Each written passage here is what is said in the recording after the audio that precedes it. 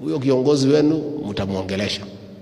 Do you know even after we won, mkubwa alim, alimuita and offered him to come to government,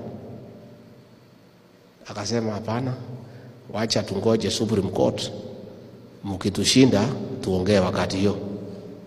Already we had won, they have lost. We were inviting him to come to government and bring the carbon nation to government. After amekuwa defeated Supreme Court, alikuja amekimbia, akaambiwa umechelewa, akajaza fomu ya speaker ya Senate, akakosa mtu ya kumpropose, akajaza ya National Assembly, akisikiza hakuna, mambo ikaharibika.